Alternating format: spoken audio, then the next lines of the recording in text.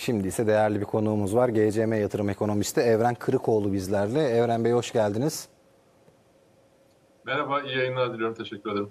Çok sağ olun. Evren Bey malumunuz geçen hafta e, tarım dışı istihdam beklenti üstü geldi. Bu hafta işte bugün itibariyle FED tutanakları açıklanacak. Yarın ABD tarafında enflasyon verilerin bu hafta artık geri kalan günlerde önce tüfe sonrasında üfe gelecek. E, genel itibariyle tabii piyasanın geçtiğimiz senede yani 2024'ün ilk başında da başlarken de 2023 Aralık itibariyle 2024 için 6 adetlik bir faiz indirimi durumu piyasa tarafından bekleniyordu. Çok böyle agresif bir şekilde.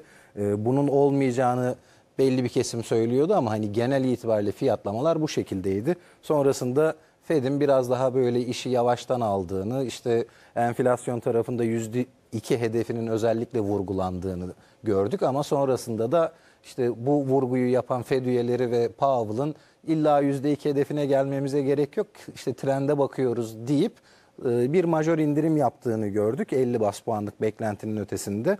Tabii seçim öncesi kimi kesim böyle bir indirim olup olmayacağı noktasında hani belli başlı soru işaretleri olduğunu dile getiriyordu. Şimdi tam da seçim sonrası 7 Kasım itibariyle hemen arkasından bir e, FED toplantısı var. Hani bu tarafta indirim noktasında hani beklentileriniz nedir? Yoksa işte yeni yönetim belli olsun bunu bir pas geçelim.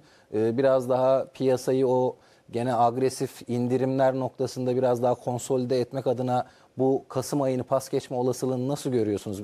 Yani hem bu soruyu hem de genel itibariyle FED tarafındaki yol haritasını merak ediyorum.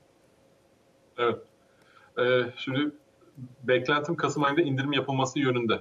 Bu yıl kalan iki toplantıda 25'er bas toplam 50 bas puanlık bir indirme alan olacağını düşünüyorum. Onun çünkü son zamanlarda baş gösteren hani Amerikan ekonomisinin bu kadar fazla faiz indirimine gerçekten ihtiyacı var mı tartışmasıyla çok alakası yok. Çünkü zaten e, son FED toplantısında e, çok fazla faiz indirimi yapılacağını sinyallemeden önce de bu sene içerisinde son toplantılarda işte en azından bir 25 25'er bas puanlık faiz indirimi yapılabileceği zaten fiyatlardaydı. E, dolayısıyla onun gerçekleşmesini beklerim. Orada bir geri çekilme e, düşünmüyorum. Pas geçmesine bence gerek yok. Ama asıl tartışma 2025 yılına dair ortaya çıkıyor. Çünkü Eylül ayı e, FED toplantısında e, o kadar sürpriz bir biçimde yumuşak ve e, güvercin bir e, tutum sergiledi ki FED e, piyasa beklentilerine kıyasla o kadar e, fazla 2025 yılı için faiz indirim e, sinyali verdi ki e, asıl tartışma şu an orada şekilleniyor. Yani gerçekten 2025 sene sonunda e, Fed'in faizi, politika faizi daha önceki gibi 3.75 değil de 2.75 seviyesine kadar inecek mi? Buralara kadar inmesine gerçekten gerek var mı? Çünkü bakıyorsunuz Amerikan ekonomisine öyle çok fazla faiz indirimine ihtiyaç duyduracak kadar bir e, yavaşlama yok. İstihdam verileri çok güçlü. İstihdam piyasasının arka planındaki diğer detay verilere bakıyorsunuz güçlü. Açık iş ilanları sayısı yüksek. Maaş artışları yüksek. Sektörel dağılım dengeli.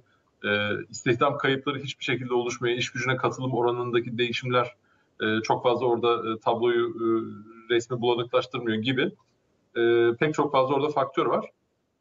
Dolayısıyla istihdam piyasası güçlü. Talep tarafına bakıyorsunuz. Evet talepte bir gelişen var ama orada da faizler çok yüksek. E, konut kredi faizleri rekor seviyelere çıktı. Yani son 15-20 yılın en yüksek seviyelerine kadar çıktı. Orada tabii ki konut piyasasını biraz yavaşlattı. Tüketici kredi artışlarında bir yavaşlama var ve e, tasarruflarda erime vardı ama faizlerin gerilemeye başlamasıyla bunların da zaten normal şartlarda yeniden hızlanması beklenir. Dolayısıyla tüketimde de böyle kalıcı, çözülemeyecek, e, sistemik bir risk olmayacağı e, düşünülebilir. E, istihdam güçlü, e, talep koşulları güçlü kalabilir.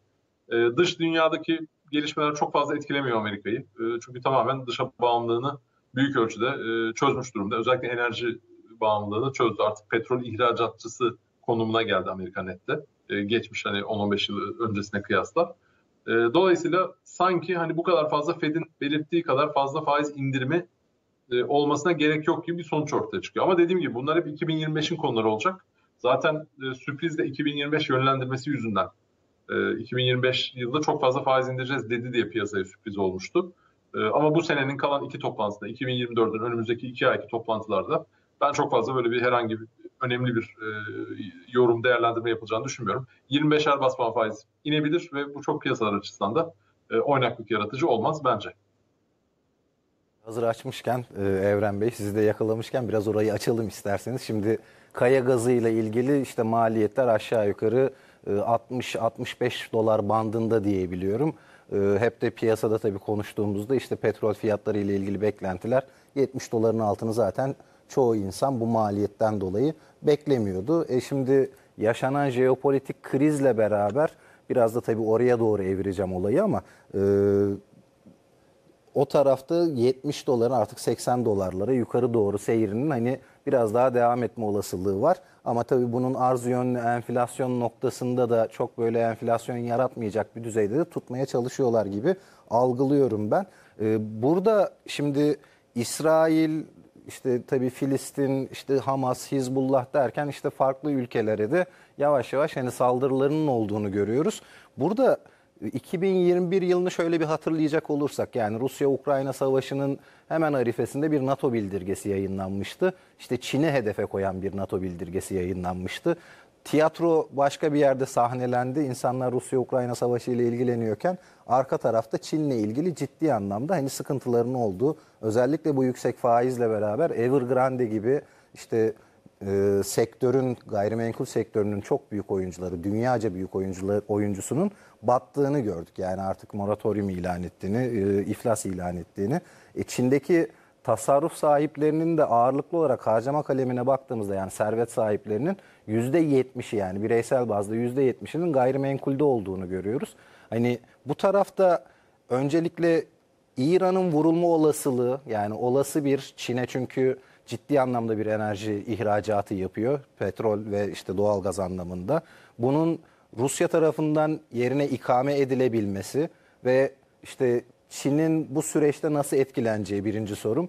İkinci sorum verdiği teşviklerle beraber şimdi tabii e, bankacılık tarafında da faiz indirimlerinin artık söz konusu olduğu bir sürecin içerisindeyiz. Orada iç piyasayı canlandırmak isteyen Hatta benim eski okuduğum makalelerde de 2000 yılından bu yana yazılan makalelerin hepsinde işte kredi batak oranları bireyselde %25 yani verdiği 4 kişinin veya 100 liralık bir kredi veriyorsa 25 lirasının batak olduğu, iç piyasa canlanmadığı sürece dış talep azalırsa Çin'in büyümesinin sekteye uğrayacağını her yani 20 senedir neredeyse 20 seneye geçkin süredir yazılıyor bunlar, çiziliyor. Ee, geldiğimiz noktada da işte altının üzerinde büyüyen bir Çin'den Şimdi işte dörtlü seviyeler olur mu, işte beş bandına gelir mi gibi e, soru işaretlerinin olduğu bir süreçteyiz. Bununla, bu da ikinci sorum olacak. Hani bu tarafta İran'la bağlayarak ve verilen teşviklerin tekrardan Çin'in bir dış talepten bağımsız olarak iç talebi canlandırabileceği bir sürece evrilme olasılığını nasıl görüyorsunuz diyeyim. Uzun bir soru oldu farkındayım ama hani evet. mümkün mertebe sizi de bulmuşken hani faydalanmak istiyoruz. Sağ olun. Estağfurullah. Ee, Çin'den başlayalım. Çin'in e, büyüme yaratması pek çok yapısal e, faktör sebebiyle e, oldukça zorlaştı. 10 sene öncesine kıyasla. 10 sene önce Trump ilk defa e, başkan olduğunda 2016 yılında, 2016-20 döneminde ki Çin'le bugünkü Çin arasında dağlar kadar fark var. E, büyümenin yaratılabileceği temel alanlara baktığınızda hani desek ki sabit sermaye yatırımları veya kamu destekli e, büyük altyapı yatırımlarından o büyüme e, gelecek desek orada çok fazla son e, 4-5 senede özellikle Covid sonrası belli alanlarda çok fazla teşvikler verildiği için belli sektörlere ve alanlara e, şimdi oralarda çok e, stok artışı ve e, stok birikimi yaşandı. Artık oradan daha fazla büyüme yaratacak halde değil. Hatta mesela bu teşvik alıp da stok biriktiren alanların başında elektrikli araçlar, işte solar paneller, batarya teknolojisi gibi alanlar geliyor. E, enerji fiyatlarında da enerji sektöründe de ciddi sübvansiyonlar ve teşvikler verildi oralarda o kadar fazla stok birikti ki e, şimdi Avrupa Birliği ve Amerika e, Çin'den e, ithal edecek. Yani Çin'in satacağı elektrikli araç ticaretine gümrük tarifeleri uyguladığı anda bir anda o stok e, şeyde ölüye çıkıyor elinde. E, orada atıl e, bir e, kaynak olarak e, satışa dönememiş bir halde bekliyor. Bu tabii çok büyük risk. Artık buralarda daha fazla yatırım yapacak, yatırım teşvik edecek bir e, alanı kalmadı. Dolayısıyla oradan bir ek e, katkı beklenmez. E, iç talebe bakıyorsunuz. İç tüketimle hani yani yatırımlara değil de iç e, doğrudan tüketim talebine de kıpırdanabilecek bir nokta var mı diye. Orada da iş, işsizlik artıyor. E, işsizlik artıyordan kasıt oran olarak artmıyor. İşten çıkarmalar var. Aktif olarak çalışan insan sayısı azalıyor. Ee, bir, onun tabii tüketim üzerinde yarattığı baskılar var. Konut piyasasına bakıyorsunuz. e, ciddi eritilmesi gereken yine bir stok var. İşte bu Evergrande'ler sizin belirttiğiniz gibi stok eritemeyen büyük gayrimenkul şirketlerinin düzlüğe çıkması için o stoğun konutların satılması lazım bir şekilde. E, işsizlik artıyor. Zaten oradan öyle bir talep gelmiyor. Onun bir yarattığı zayıflık var. Parası işi olup parası olup almak isteyenler de fiyatlar düşüyor diye bekliyor. Çünkü aydan aya baktığınızda konut fiyatları her ay eksi yazıyor artık. Yani bırakın enflasyon altında artmayı falan e, doğrudan fiyat kırmaya başladı e, emlak piyasasında emlak sahipleri. Dolayısıyla satın alacak insan da bekliyor artık hani önümüzdeki ay daha ucuz alırım diye. Konuttan da bir teşvik gelmeyecek. E, geriye bir tek dış talep kalıyor. Dış talebe de baktığımız zaman e, Euro bölgesinin hali ortada. Özellikle Almanya öncülüğünde imalat sektöründe çok ciddi daralma var. Çin'e oradan bir talep yaratacak bir e, şey e, bir kıpırdanma gelmeyecek gibi duruyor. Amerika'da Amerika evet kendi e, nispeten olumlu ayrışıyor ama kendi yağında kavruluyordu. Yani dış bağımlılığı nispeten az ve Çin'le bu ticaret e, savaşları, ticaret kısıtları konusu yeniden artabilir. Ama eski dönemin aksine yani 2016 dönemin aksine Çin'in buna karşılık verecek mecali yok. Eskisi kadar hani Trump her e, ticaret işte gümrük vergisi ticaret kısıtı açıkladığında birebir aynı miktarda karşılık veriyordu Çin. E, 2016-20 döneminde birinci Trump başkanlığı döneminde. Şimdi aynı karşılığı veremeyecek durumda. Dolayısıyla dış ticaretteki avantajı da rekabet avantajı da eskisi kadar e, fazla değil. Gücü orada fazla değil. Yani Çin'in o umulan, hedeflenen %6'lık, 5'lik büyüme oranlarını yakalaması e, biraz zor duruyor. %4, 9, 4, 8 gibi bir oran daha olası olabilir. Bu Çin standartında çok düşük bir büyüme oranı. Yani %6'nın altı olmasın denirken işte 5-10 sene içerisinde %5'i bile tutturamaz bir hale geldi Çin. E, şimdi ciddi teşvik paketleri açıklanıyor. Hem borsadaki hisse senetlerine destek olmak için hem tabii borsaya destek olduğu zaman dışarıdan da e, yabancı sermaye sıcak para çekmeyi hedefliyorlar. Onun da ekonomiye olumlu katkılarını hesap ederek bizim de şu an yaptığımız gibi. E, orada bir takım planları var. Konut piyasasına biraz destek açıkladılar ama baktığınız zaman sayılar Çin ölçeğinde hala yetersiz. Yani basit bir örnek vereyim size. 40 e, milyar dolar karşılığı yuan bir bu konut piyasasındaki altın konut stoğunun geri alınması için bir bir paket açıklamışlardı zamanda. Çin konut piyasası uzmanlarının hesabı 400 milyar dolara pardon 140 milyar dolara yakın yani en azından 3 katından fazla bir e, orada kaynağa ihtiyaç olduğu yönündeydi. Yani sayılar o kadar büyük ki teşviklerin de çok büyük olması gerekiyor. Hani maliyenin o kadar orada yeri var mı? Bunlar hep tabii e, soru işaretleri. Yani Çin'in Çin'in işi özetle zor. O eskisi gibi e, son 15-20 sene önceki gibi bir tablo e, şu an Çin'de maalesef ortaya çıkmıyor. Bu tabii küresel emtia fiyatlarını da aşağı yönlü baskılıyor. Başta endüstriyel emtia fiyatları olmak üzere, endüstriyel metaller olmak üzere, petrol fiyatı da buna dahil e, zayıf kalıyor. Yani petrolde şöyle bakmak lazım. Düşünün ki dünyanın her yerinde jeopolitik gerginlik var. İşte Rusya-Ukrayna'da savaş var. Bir sürü belirsizlik devam ediyor. Orta Doğu'da işte İsrail, Filistin bir sürü belirsizlik var. Lübnan, İran süreçlerini izliyoruz. Uzak Doğu Asya'da e, Tayvan'da belirsizlikler var. E, Kuzey Kore'nin füze denemeleri var. Venezuela'da Orta Amerika'ya gidiyorsunuz. Orada da gerginlikler var. Yani dünyanın her yerinde bir aktivite var şu an. E, jeopolitik şey var, gerginlik var diyelim.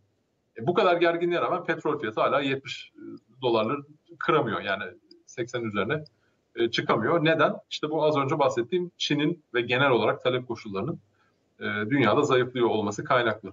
E, ben çok fazla öyle petrolden falan yukarı yönlü bir hareket beklemem bu saatten sonra. E, çünkü hepsinin üzerine bir de OPEC fiyatı yükseltmeye çalışıyor. Onun da çabalarına rağmen bu fiyat hala 75 dolarlar seviyesinde. OPEC'in de kendi içerisinde bir oyun teorisi var.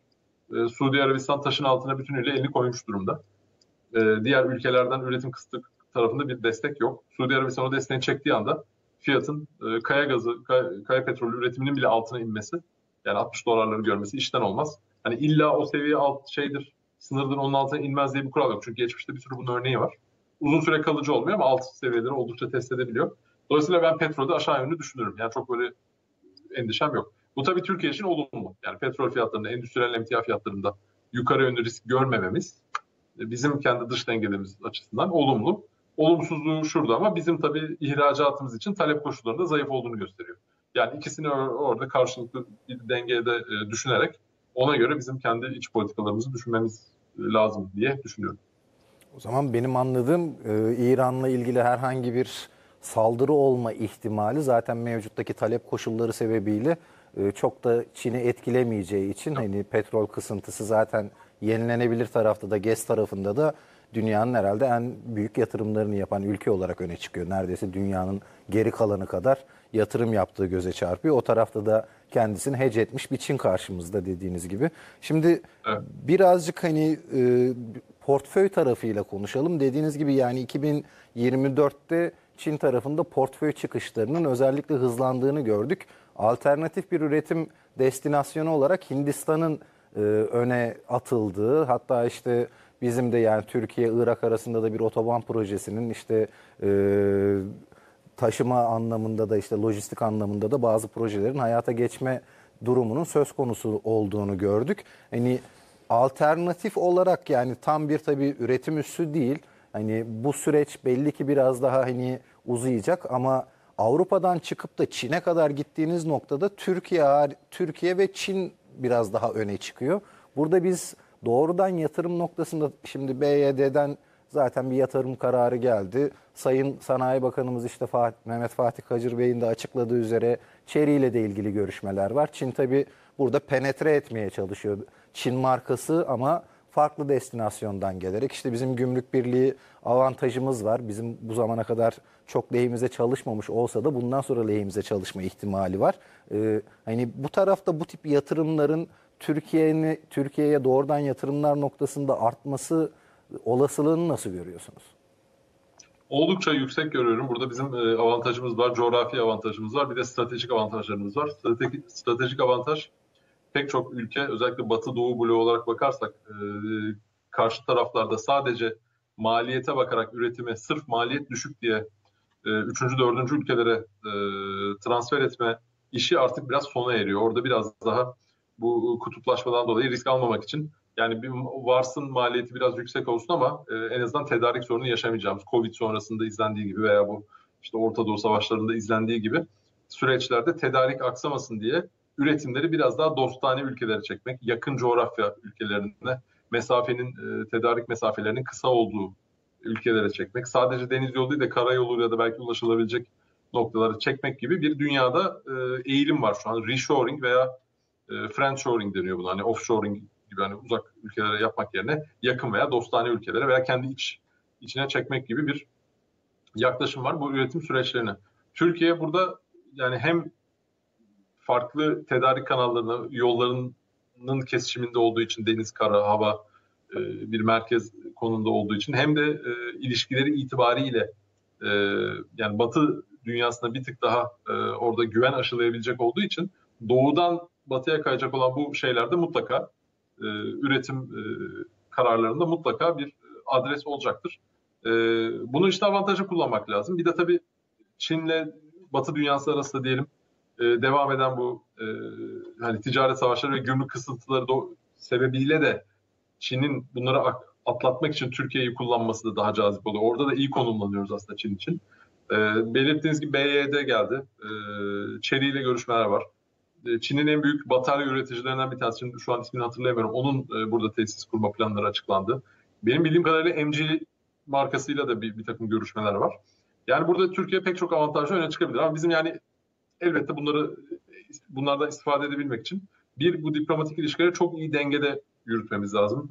Herhangi bir tarafa çok fazla savrulmadan e, bir e, orada bir e, spekülatif bir şeye e, ayrışmaya ve didişmeye girmeyecek biçimde e, akılcı bir biçimde bence bu sürecin yönetilmesi lazım. İkincisi ekonomik olarak da buraya istikrar e, vaat edici bir e, yapıda olmamız lazım. Yani e, ekonomi yönetimiyle ilgili kararlarda işte faizler olsun, kurlar olsun, diğer bir takım e, mevzuatsal düzenlemeler olsun. Buraya gelecek yatırımlara çok fazla böyle geleceler belirsizlik aşılamayacak şekilde öngörülebilir bir e, yapıda e, hem parasal hem mali anlamda olursa bence bu yatırımları çekeriz. Bir de zaten çok ucuz kaldık. Çok son 5 yılın 5 yıllık dönemi düşündüğümüzde olması gerekenin altında bir seviyede yatırım almış bir haldeyiz yani. E, underweight diyoruz biz buna finansta.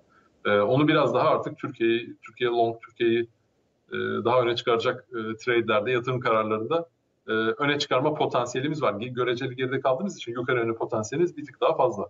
E, dolayısıyla burada fırsatlar olabilir. Evet, özetle e, yani o anlamda ben kötümser değilim. Bunlar ama dediğim gibi akılcı ve şey yönetmemiz gerekecek. E, çok böyle çıkar odaklı, e, oynaklıktan ve belirsizlikten uzak, e, akılcı bir şekilde yönetmemiz gerekecek. Dediğiniz gibi tabii yapısal reformlar yani Mark Mobius'un meşhur bir lafı var. Ben benim için diyor demokratik ülke işte yatırımımı yaptım karımla beraber rahat bir şekilde çıkabiliyorsam benim için sıkıntı yoktur. Tabii piyasada da yanlış algılanan bir husus var.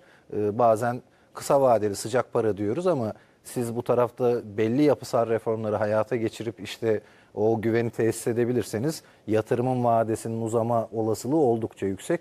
Bazen de uzun Evet. vadeli doğrudan yatırım dediğimiz hususlarda da işte bu sefer yani yabancı yatırımcı fabrikayı teminat gösterip kredi çekip ülkeyi terk edebiliyor. Yani bu ekstrem örnekler tabii ama uzun dediğiniz kısaya dönebiliyor, kısa dediğiniz uzuna dönebiliyor. Burada içsel değişim, değişimler, işte dediğiniz gibi yapısal reformlar, mevzuatsal e, değişiklikler, regülasyonlar burada oldukça önemli.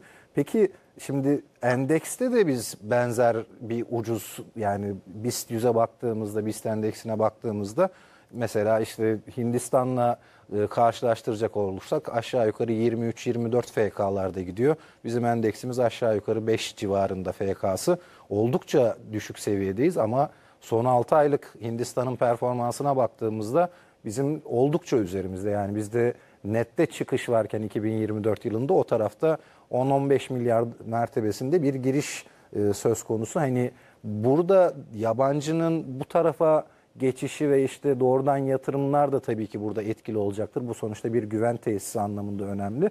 Ee, onunla beraber bir zamanlama olarak baktığınızda enflasyon muhasebesi gibi tabii ki belli başlı drawbacklerimiz var. Yani negatif tarafta etkileyen finansalları ve kafa karışıklığına sebep olan o sebeple bankacılık sektörünün işte enflasyon muhasebesinden muaf olması sebebiyle de bu kadar e, talep gördüğünü anlayabiliyoruz ama hani genel itibariyle hem küçük yatırımcı ki yatırımcı sayısı malumunuz işte 1 milyon seviyesindeyken işte birçok e, finansal piyasadaki katılımcının hani kutlama yaptığı süreçten biz 8 milyonun üzerine çıkan bir seviyedeydik. Şimdi 7 7,5 bandında bir bölgeye doğru evrildik ki 1 milyon yatırımcı da az değil çıkış anlamında. Hani bu hazır tabana yayılmış bir e, finansal piyasa, borsa yatırımcısı varken bunu da kaybetmemek adına ve hani bunların da devamlı artık kalıcı bir yatırımcı haline dönüşmesi için de bu sorduğum soru oldukça önemli. Ne zaman bekliyorsunuz? Hani bu bu tarafta ne olursa